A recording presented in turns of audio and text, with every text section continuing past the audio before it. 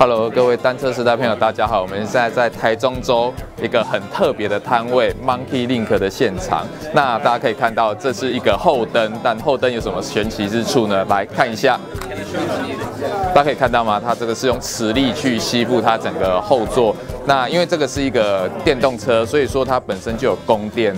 那它只要吸上去的话，它后面有个接头，就可以让整个电源流到后灯来。那拔的话也很快，就是后面有个小小的卡榫把它移走。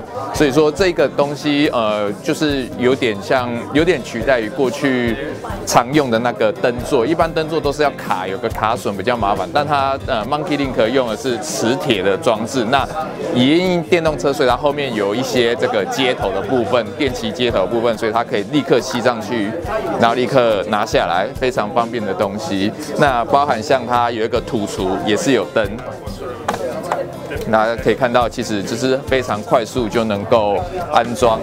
那一样也很快就可以把它拿下来，那算是一个蛮有创意的发明。